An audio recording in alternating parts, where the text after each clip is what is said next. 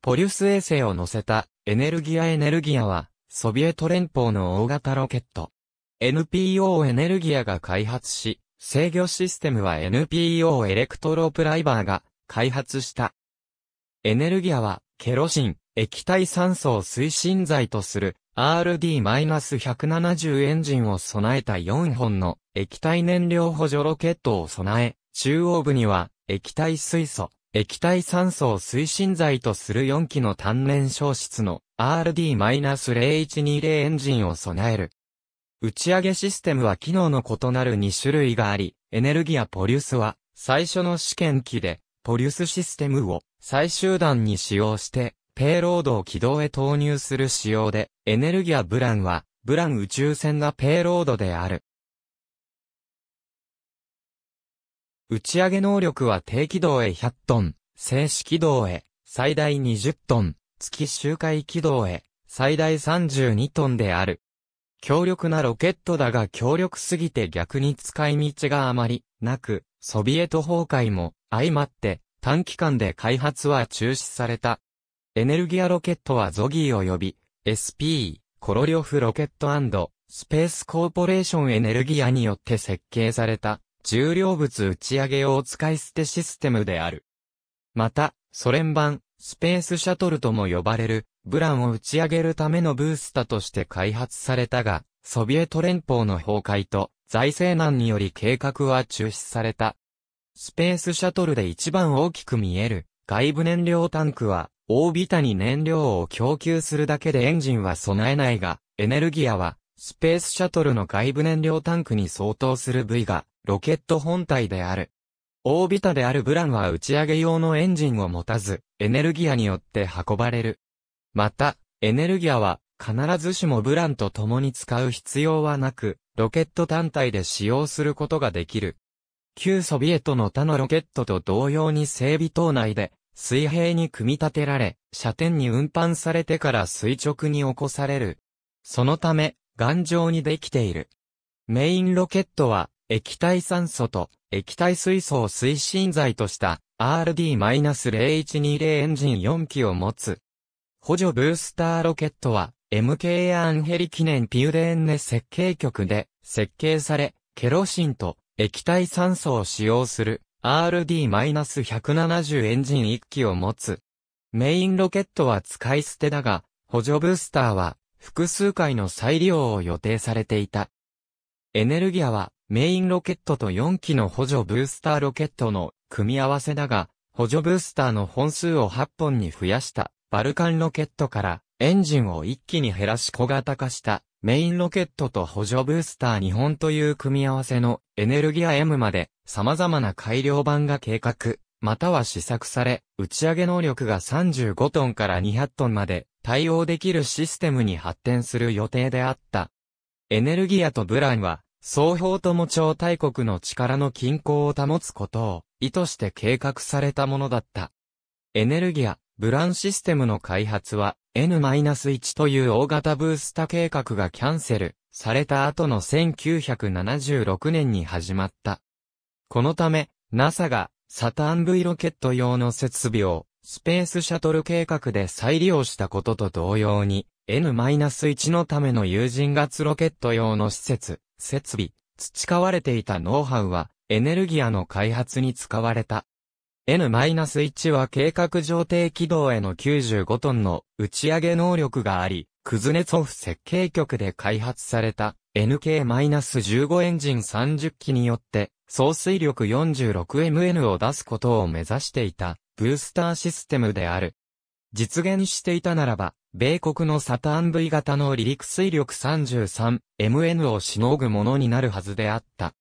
プロトンロケットをベースに大型化し、毒性のあるハイパーゴリック燃料を使用して推力を増すバルカン構想の後継にも想定されていた。N-1 を製作していた OKB -1 のミーシン設計局長解任後、ハイパーゴリック燃料使用のロケット推進車である、 OKB -456 のグルシュコ、設計局長が兼任、両設計局が合併して、SP、コロリョフRocket Space Corporation エネルギアが設立された。詳細については、ソ連の有人月旅行計画を参照のこと。同様にエネルギアによって、自己着火性推進剤を用いるが元になった、プロトンロケットより大型で強力なバルカンの構想も置き換えた。バルカンの識別名称は後年、補助ロケットを8本と複数の段を使用する、エネルギアの派生機種に与えられた。エネルギアは、再使用型宇宙王冠キブランを打ち上げるために、設計され、その特性状態の機種が、ロケットの上にペイロードを搭載するのに対して、側面にペイロードを搭載するように設計された。エネルギアマイナスブランシステムの設計後、それは、同様に補助ロケットを、重量物打ち上げロケットとして、ブランを乗せずに使用することが検討された。この仕様は、ブラン T という名称が与えられた。この仕様では軌道へ到達するために、上段ロケットが必要とされた。実際には、エネルギアの最初の打ち上げでは、大型の軍用衛星をペイロードとして搭載した重量物打ち上げ、仕様で打ち上げられた。ブラン計画の打ち切りによりエネルギア計画はわずか2回の打ち上げで終了し、最初の打ち上げのペイロードは最終的な軌道へ投入するための加速能力を備えなかった。エネルギア、ブラン計画の遺産は RD-170 系列のロケットエンジンや、エネルギアの一段目の補助ロケットであるゼニットロケット、と、多岐にわたる。エネルギアは1987年5月15日21時30分に、ポリュスを搭載して打ち上げられた。打ち上げ2秒後に大きく揺れたものの、エネルギアロケット自体は、問題なく打ち上がった。しかし、公式見解では2段目のエンジン不良により同部位の起動投入に失敗した。ミールのモジュールとして製造されていた FGB エンジンがペイロードを軌道へ投入するために使用された。目的の軌道は高度 280km、傾斜角64.6度だった。当初、ソビエトではエネルギアはダミーペイロードを搭載して弾道飛行に成功したと発表したが、しばらくしてから実際にはポリュス軍事衛星を軌道へ投入する目的だったことが明らかになった。エネルギアの2段目は設計通り作動したが、3段目のポリュスは軌道への投入に失敗した。姿勢制御システムのソフトウェアの間違いにより、軌道へ投入するためのエンジンの燃焼が失敗し、軌道へのペイロードを投入に失敗した。代わりに、ペイロードは太平洋上の大気圏に再突入した。2回目の打ち上げは1988年11月15日で、初めて軌道を投入に成功した。このミッションでは、ソビエトの無人スペースシャトルであるブランを打ち上げた。円地点で、ブラン宇宙船は軌道へ投入するために、秒速66.7メートル噴射して、最終的に 251km/x263km の軌道へ投入された。エネルギアとブランの計画はアメリカに対して戦略的な地位を維持するために実施された。エネルギアロケットの生産はソ連の崩壊とブランシャトル計画の終了に伴い終了した。以来、最大上げの噂があるが、現在の政治情勢では、その可能性は極めて低い。エネルギアの生産は短期間で終了したが、一方、ケロシンと液体酸素を推進剤とする4本の補助ブースターを元にしたゼニットブースターはエネルギアの RD-170 の同種のエンジンでより強力で改良された RD-171 を搭載して生産は続いている。ゼニットはバイコヌール宇宙基地とシーローンチで使用されている。RD-170 から派生した半分の出力のエンジンである RD-180 は、ロッキード・マーチンのアトラス V に同じく1、4の大きさの RD-191 は、韓国のナロ -1 とロシアで開発中のアンガラに搭載されている。低軌道へのペイロード打ち上げ能力は約100トンでサターン V ロケットと同等以上の搭載量を持たせることも可能だった。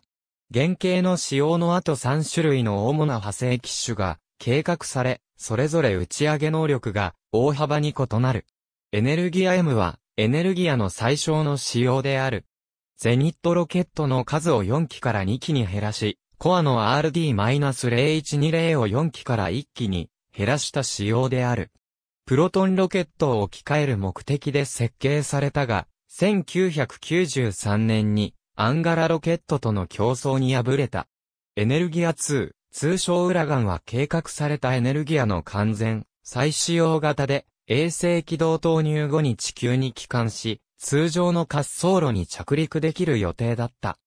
アメリカのスペースシャトルのように反再使用型として設計されたエネルギアとは異なり、裏眼の設計はアメリカのスペースシャトルのオービターブースターの元の計画の概念のように、ブランエネルギアのすべての構成要素を完全再使用することを目指していた。エネルギア通コアとして、おそらくブランのために開発された技術を使用することにより滑空して着陸する能力が検討されていた。最終的に打ち上げられなかった仕様で最大の機種である。8本のゼニット補助ロケットを使用し、エネルギア M を上段に使用する、バルカン、または、ヘラクレス使用は、最大175トンを軌道へ投入する能力があった。